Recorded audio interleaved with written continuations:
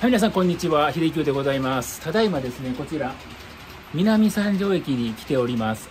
って言ってね、こちら、模型の駅なんですけども、千葉県松戸市にあります、上越温泉さんのレイアウトに来ております。見てください、こちら。今、特急、時がですね、通過しております。はい。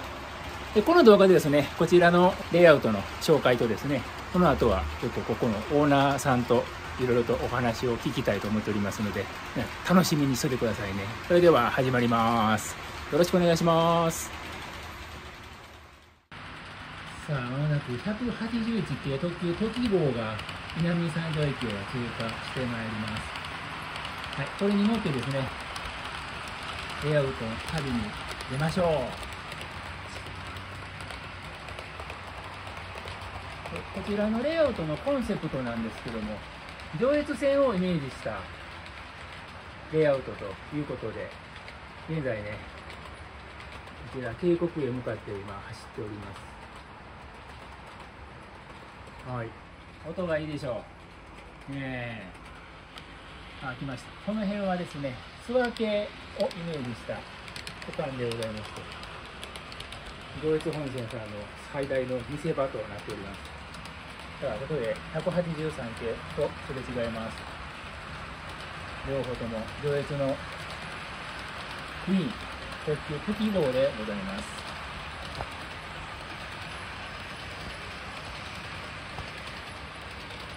はい。で、この先、電流線の奥を抜けまして、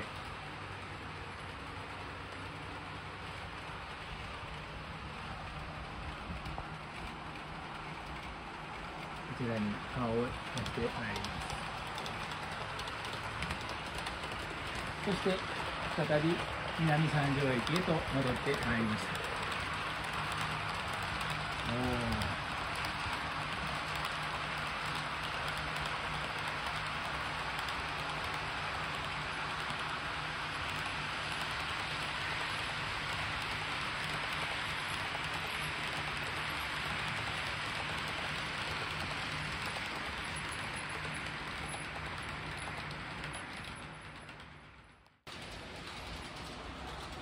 はい、この南三条駅、えーこの画面向かって右側にはですね上越国境のですねもう心臓破りの大急勾配がありましてですねここをここに挑む183系時をここで構えたいと思います。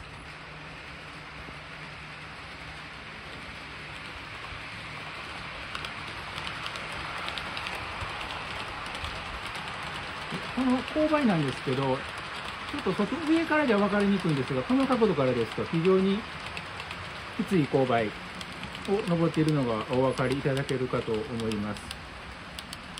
上越国境越えね。この区間で、まあ、あそこであの高さまで上がっておりますんで、この区間はループ線で上がっていきます。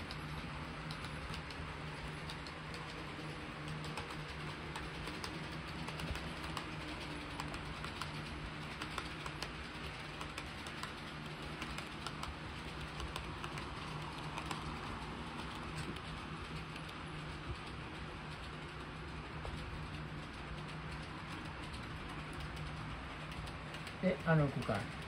で、本線はですね、急勾配であくまで登るんですけども、ローカル線の方は、ループ線で距離を稼いで勾配に挑んでおります。でですね、今、奥からですね、EF62 系のローカル列車、あそこでトンネルに入るんですけど、このトンネルが非常に長いトンネルになっておりまして、大清水トンネルというそうですけども、えーこちらのトンネルを入ってですね、長いですよ、ここ。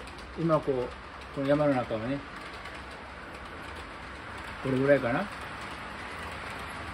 この中を今走ってるんですね。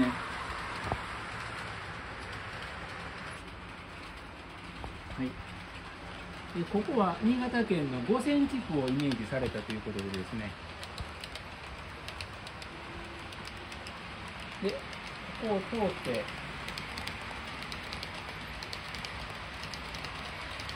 列車は南三条駅へと入ってまいります。いいですね。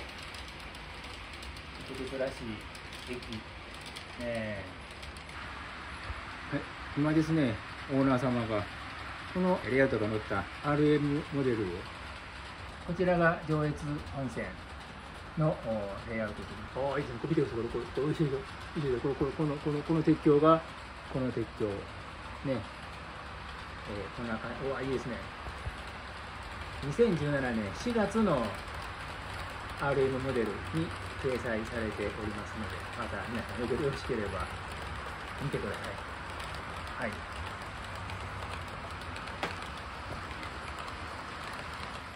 こちらね上越本線さんの最大の見どころはですねこの線路幅見てください。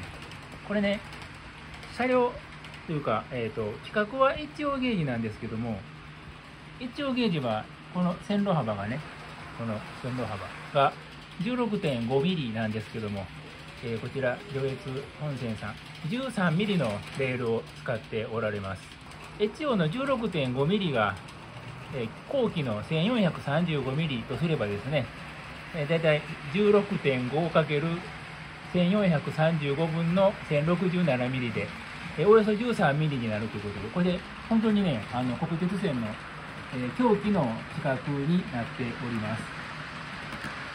かっこいいでしょ？ね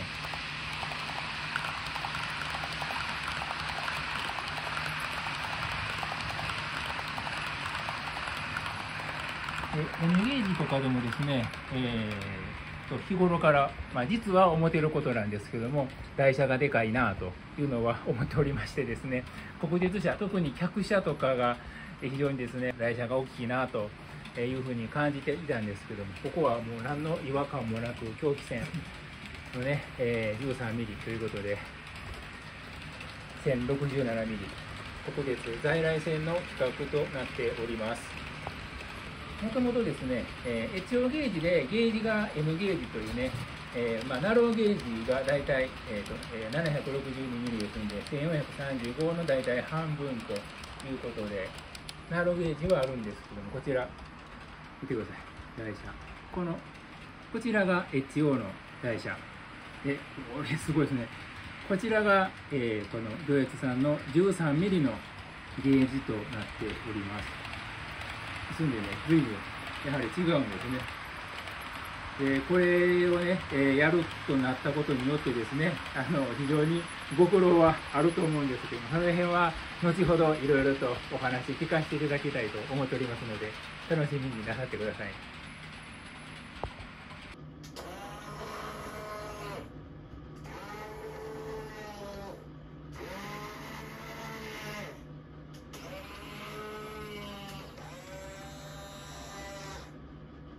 今ですね、ポイントが動く音が、まあ、じーっと何何回かしてたと思うんですけども、で、こちらのね、信号機が連動してるんですね。これはかっこいい。しびれますね。こちらはあのローカル線の方の、えー、出発信号機になりまして、進路が開通したら G ゲンジになると。実際のね、鉄道と同じ仕組みで信号が点灯すると。いやいや、素晴らしいですね。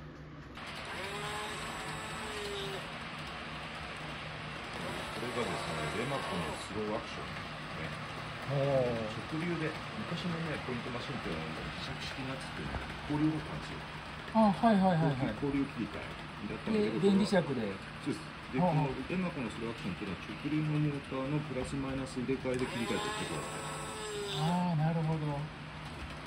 まさにこっからなってるような気がしますもんね。ある意味これがリアルだと思いますよね。リアルに動きそうです、そうです。その動かすためにね、トングを動かすバーが、真鍮のバーが見えてるのはちょっとリアルじゃないですあの地中に埋め込む方法もあったんですよ。ああ、そうなんですね。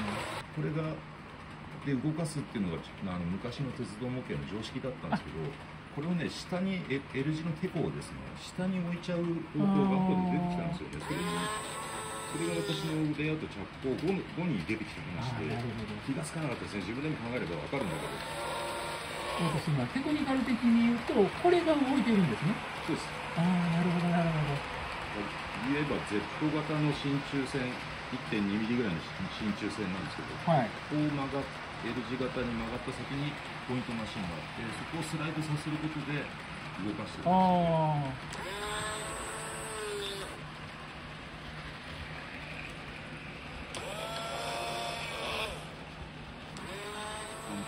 はねその磁石あの電磁石に交流ぶち込んでパチンパチンって書いてたんだけどあれはあれで懐かしいんですけど好きなんですけどねはいリアリティで言うとやっぱりかっこいいですよねあとねこのレアと着工からもう18年とか経ってるんですけどはい初期にあの採用したそのレマコとかフルブレックスのポイントマシンっていうのは壊れないですねあそうなんですかここも故障してない40箇所ぐらいポイントあるんですけどこれも壊れてないですすごいですね。耐久性ありますね。うーん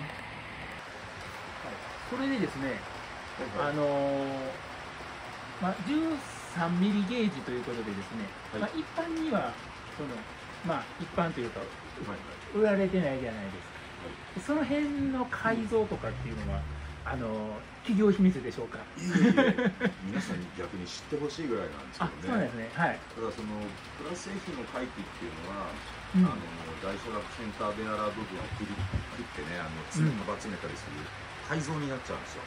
ああそうするとですね。車軸をこう縮めるみたいな意味でだからはい。それをやってしまうと16番にいざ戻して手放したいってなった時大変なんですよね、まあ、あの台車額ごとメーカーから取り寄せるとか何かしない限り元に戻せなくなるああただしこれがですね。遠藤とか真鍮の製品だとあの排気用のパーツと部品と車輪だけ置き換えていけば MP ギアも 13mm にセンターベアラーも 13mm 用っていうふうに変えるだけで改改造というかね組み替えだけで組み13替えていけるんです。切り詰めなんでもそうなんですよ。あそうなんですね。だからプラ製品の回帰っていうのは改造になっちゃうんで切り刻むんですよね。だから完全に元の16番に戻すには新しい新品の16番の台車を買ってこないと元に戻せないということなんですよね。ああなるほど。資産価値でいうとプラ製品を切り刻む方がリスク高いですね。あまあそれでも楽しみきれればいくらでもどこまでもやっていいんですけど、で16あの遠藤ね克美とかそういうグラスのしあの車両をねあの13ミリに改あの組み替えた場合っていうのはいつでもまた16番の時にあれば元に戻せる。あうーん。N でもね6.5ミリでしたっけ？ありますもんね。MJ ゲージですね。MJ ゲージね。いやいや。大変なあれはやると大変やなって思うんですけど今日こちらに寄せていただいてですねやっぱり狂気のね良さはありますね、もうほら。上から見たって違いますもんね。うん。横から押したら転びそうな感じがあの本当に狂気なんですよ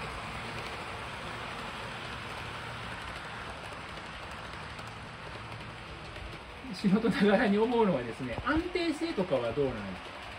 えーっとその回帰をしたことで不安定になる場合もその施工技術レベル的には結構差が出てるかあ上手い人っていうのは16番でも13ミリでも同じように走らせたりああそうですか。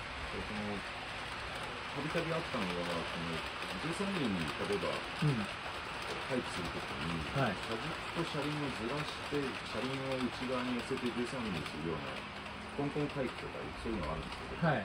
そういう時に車軸端曲げちゃう人とかがあね、出来上がった回帰済みの車両を走らせると肩揺らして走ってたありそういうのもあったり。あ安定が悪なるとかいうよりも、ん。改造によってまあバランスを崩してしまうリスクみたいな感じなんですかね、ああなるほど。その車輪と軸をずらす時も天地とかで無理なことはしないでちゃんとボール板で垂直を使用すれば軸が曲がったりはしないんですよ。ああの工作的に正しくやれば何も問題なくちゃんと走る模型になりあますうんなるほど。まあでも模型が走らない理由なんていくらでもあるんですよね。まあねいろいろ他に。はい。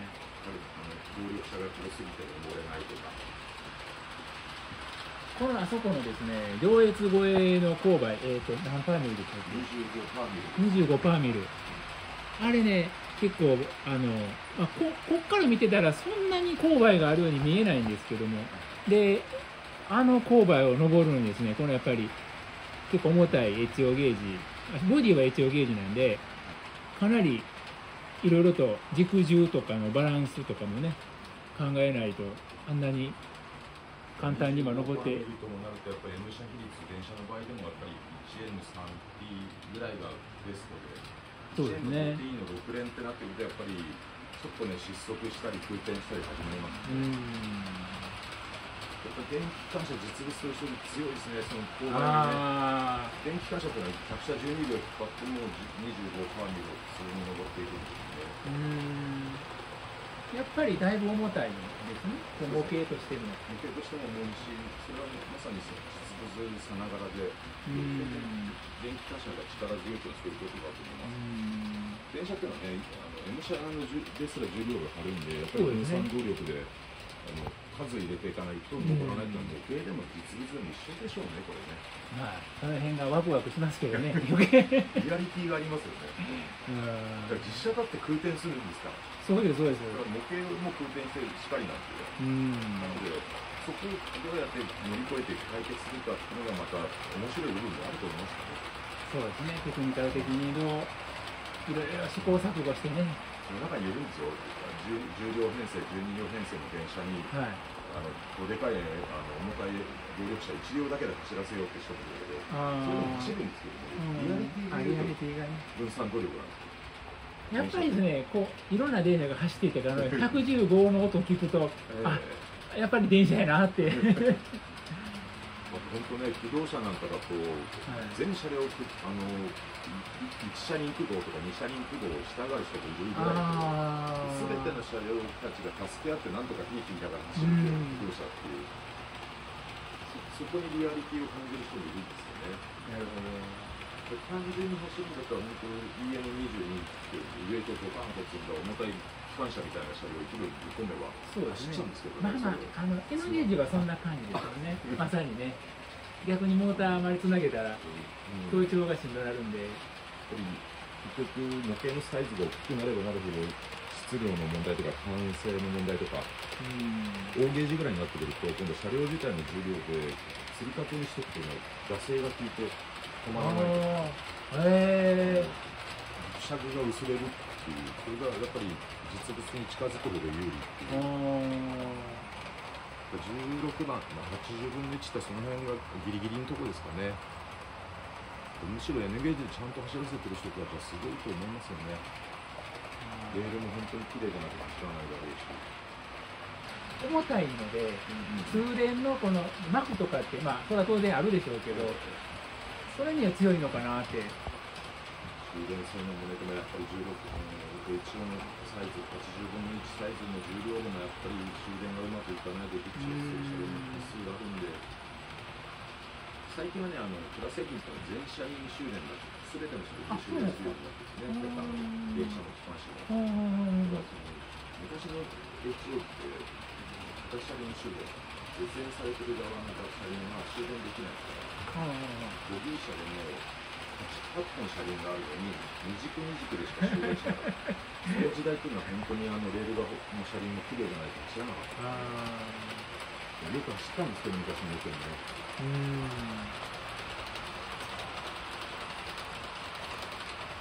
あのまあちょっと前の商品なんですけど N ゲージで水風が出たんですけどね、はいはい。あれ全部編成あのつながってるんですよ、うん。あのまあ言うたら母線で。で電気連結電気連結。やっぱりすごいなって全然こうあの照らす気もしないし。ノルウェージの新幹線あたりもみん。なそうですね。うん。反対で走るエニゲージの機関車でゴムタイヤなんて書いてるからあれはもう絶縁しちゃってるもんだから終電できないわけですよそうですそうです。それ考えるとゴムタイヤやめた方がいいんじゃないかな客車も50両引くならゴムタイヤいるかもしれないですけど8両とか10両の客車引くんだったらゴム機関車にゴムタイヤいらないから。逆にその軸重を増やして、でまああのモーター電圧って軌道電圧ってそんなに僕低くなくてもいいと思うんですよ、あの先にえライトつく前に走っちゃうんで。はいはいはい僕的にはそっちの方がいいんですけど、まあでも主流はやっぱりこうね、スロースタート、微微電流で走るのが、まあいいとされてるんで、まあ、無形の世界でもね、パワーパックのモーターもみんな年々省エネ化が進んできて、省電力になっていってるんだけど、うん。その結果、その軌道電圧の高いモーターだったら停車時点灯してたものが、あの電圧上げなくてもモーターが動き出してしまう そういうなんか抵抗つけたらいいんかなとかって思い出するんですけど、なんかスーパーキャパシタとか、あとはそれを徹底した人はみんな DCC に流れる。あー DCC 結局そうなるんですよね。もう常時12ボルト線路に流れてて、どこに電気を流すかをコントロール側で、うんレコーダー側でいじっていくという、ほんまに電車ね、うんですよね。本当の電車と一緒ですね。あだから今日もね、なんとかみんな走ってくれてるんだけど、これね、どの車両も全部ちゃんと走らない、ギクシャクしたり止まっちゃったりとかってなって、撮影どころじゃなくなっちゃうんですよ。ー確かに。立ち往生した車両を、トンネルの中で止まった車両を、復旧作業に行かなきゃって言って、撮影止まりますからね。でも心配なのはそのその大清水トンネル内で脱線したら どうされてんのかなっていうのは壁際にあのあの山があるじゃないうんはい山の隙間に5センチの幅があってああね。どこの場所でも一応手が届く線路まで手が届くようになってる。なんですね。だから最近は初めて知らせる車両なんて持ってこられた方はその手の届く場所で往復運転です。まずちゃんと走る。なるほど。でダメな場合はそれより先に進んでくれるな。大変やな。あれのあと復旧作業はご自身でやってくださいみたいな感じになってます。大変なんですよ、あの下くぐるの。くぐって向こうへ行ってって。これね、やっぱりね、あの山を手前に持ってきてる、まあ、当然、その脱線復旧の、あこれ、ここね、そうですね。あるんですけど、あの情景的にもどうなんですかね、こっちから例えば照明が当たった場合、こう、なんていうか、べちゃべちゃよりも手前にある方がなんかいいんですかね。ああ、どうなんでしょうね。それは、それに私考えてなかですか。なんかでも、ちょっと手前にあって、背景がある方が、なんかオープン期間で、こう、こう今、ちょっとね、みあの見させてもらってて、こう思ったんですけど、背景もね、これ自分で書いてるんですけど、おー、あの、もっと書き込む、絵としたらもっと書き込むべきなんだけど、書けば書くほど絵が前に出てくるんですね。ねだから、円形に見えればいいかなぐらいなんですけど、それ以上私はやってないですよ。まあでもね、やっぱりこう、まあまあカメラの時見ると、やっぱりいいですよ。なんかこう、べちゃっとなってないんで、うんなんかいいじゃないですか。あの山を越えてね、上越国境、まあ上越は向こうですけど、いいですね。まあ、情景的にはね、上越国境はここなんですけど、うんたまたまその上越越えっていう言葉が急勾配を抜けるっていう意味で、そうですよねあそこになっちゃったんです向こけどうですよね。うん、まあまあ、でも全体がこう上越線なんで。リアリティがね、追求すると、だから、組レールで組み立てて、直線を走って、ギュッと45度曲がって、うんまた直線になってっていう、実物ってそういう線路の敷き方しないんですよ。すね。地形に合わせて、なるだけ山をよく、なるだけ川を渡るなら川幅の狭い場所に鉄橋をかそうできるだけトンネルを掘らないようにって、だから昔の鉄道ってこんなの止めてないまさにまさにこのここここですね。こここここここここね。ここここね。あ今ね、もうトンネルぶち抜いて終わりですから、で終わりですからね。いやいやいやいや楽しいですね。やっぱりねあの音と情景がやっぱり国鉄が好きなんですね僕。あ、はい。いいですね。何までも見てないですね。関西の方なのに国鉄の方が好きっていう。そうですね。えどうえー、でほら関西だったらほらあれだけ大手施設があるじゃないですかあーはいはいはいはい。ねえああ。やっぱり国鉄が好きなんで究極が好きなのでよくわかりますよそうですね。うん、であの関西はね福知山線うんが、まあ、旧型客車が僕のそうですね。中学生ぐらいまで走っとったんでいいですね。普通に乗れてるっていうね。一番一番その感受性の強い時うん。にガツンと来られたんで、都内に住んでるとあの中距離のあの究極のね各駅停車なんて、自分が中学ぐらいまでは残ってたんですけどね。常磐線の常磐線ねと高崎線とね多分なかなかそれって乗る機会がないしわずかな小遣いを全部模型の部品に変わったんであの乗り鉄する余裕はなかったですよ。なるほど。いやあのね大阪尼崎間とかね。そんなんで大阪駅で長く止まってるんであの乗ったり降りたりして遊んでましたけど。いいですねあの時代はね。ね駅の匂いとか懐かしいですよね。えいいですね。うん。まあ確かに JR なんて綺麗になりましたけど。うん。昔汚かったですよね。けどあれが良かったですよね。本当にこんなねうん感じ南三条駅の。ね、駅で、ね、上野駅で特急時に乗るってホームで待ってると、うん。もうその辺のおじちゃんばあちゃんがしゃがんでタバコ吸って ポイ捨て。でレールの上はタバコ。タバコだらけ。もうそんな時代ですからね。なるほどこの頃ですね。そう。181系。懐かしいですよあのお茶とね日あ本食堂のお茶と冷凍みかん。あはいはいはい。夏休みそれ買ってもらってああ特急時に乗り込むのが懐かしいですね。風情がありましたよね本当に。あの坂田さんは上越線って何かその思い出が終わりなんですか、私があの子供の頃から母親の出身が東三条なんですよそこに母親の成果があってそこに毎年帰省したんですよね。だからあ急行佐渡か特急時かーうん。毎年乗乗ってたわけです。えー、特特急時と空港さ80系やったんですか？いやそんな時代じゃないです。私の時代はもう165 165ですかはい。だからそれがすごい懐かしく脳裏に残っててあレイアウトも何度も作ってきたんだけどもやっぱり最終的に上越線の再現をしたいなっていう。あでもともと私は東京の大泉なんであ西武線の旧型電車とかはいっぱはい見てきた人間なんだけどこんなの日常的に見てるから何もワクワクしない。わかりますわかります。でたまに上野駅に降り立ってそこから長距離列車に乗るあのワクワク感がすごくてもうカゴ緩みっぱなしになりますもんね、で時はまだ早いけどね急行サードなんか乗ると途中停車駅も多いんで結構長い旅になるんですよ。あー。4時間超えのね。あれも懐かしいですね。うん。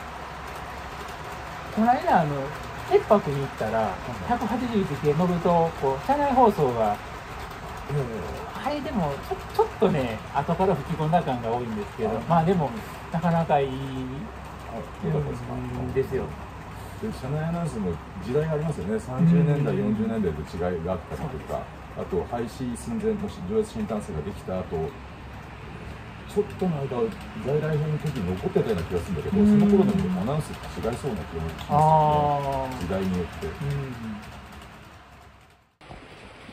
でもいいですね。あの自分のこう思い出の、えー、レイアウトをこう持ってらっしゃるっていう本当に夢見たレイアウトに着手して人ってね夢を夢のまま追いかけるから幸せなのかなあ実際にやってしまった瞬間にもうもうもう力尽きてしまってもう出がらしみたいになっちゃって。とにかくここの56年はもうもう手制作が手がつかなくなったんですよ夢は夢のままがいいかもしれないですよ。本当にやりたいと思うことやれちゃった瞬間に力が抜けてしまうっていうかね、僕もね持ってましたけど結局やっぱりこういやあの秋はしませんでしたけどね。でやっぱりその維持していく大変さっていうのがそれ勝っちゃうんですよね。そうそう、現実ね、こんだけの規模のものを作ってもね、何をしてるかっていう、掃除とレールクリーニングばっかりやってる、そこに手間と時間取られてて、結局さらに作り込んでみようとか、その時間を割り当てるだけでもきつい話かもしれない。そうですよね。まあその辺は何かちょっとこう永遠のテーマかもしれないですね。でもでもやっぱりこう夢ロマンですよね。でもね、おかげでたくさんの仲間が集まってくれて、楽しいそうですよね。週末が過ごせるんで、ありがたいことです。あえっ、とこちらのレイアウトは、えー、と例えばあの遊びたいってなったらどのように？基本的にはですね友達を間に通した紹介までですね。あそうですか、あやっぱりね、あんまりその一元さんでなっても、いやこすみません、えっ、とね、このヒラロレイアウトはあのレンタルレイアウトではないので、あのえっ、とまあ、基本的にそう、ある程度、まああー、お知り合いになられてからみたいな感じで、えー来られるという形で。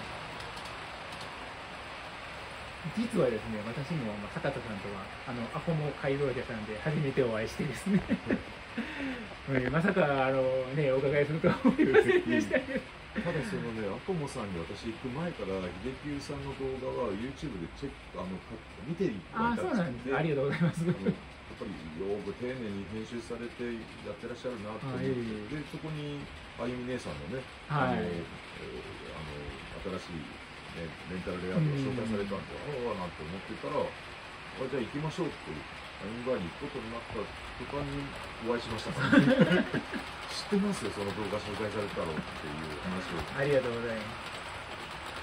やっぱりでも Facebook、X といったつながりから人が人を連れてきてっていうね、あのモデラ以上人数が1500人超えたんじゃないかって、この間ちょっと軽く計算したんですけどね、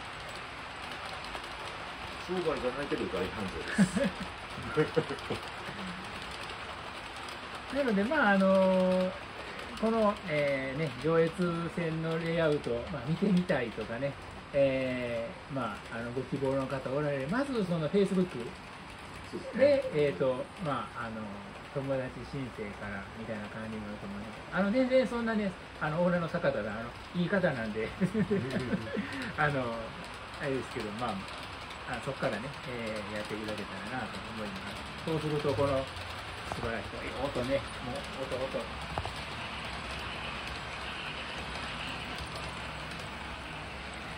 この音が生で聞こえることができます。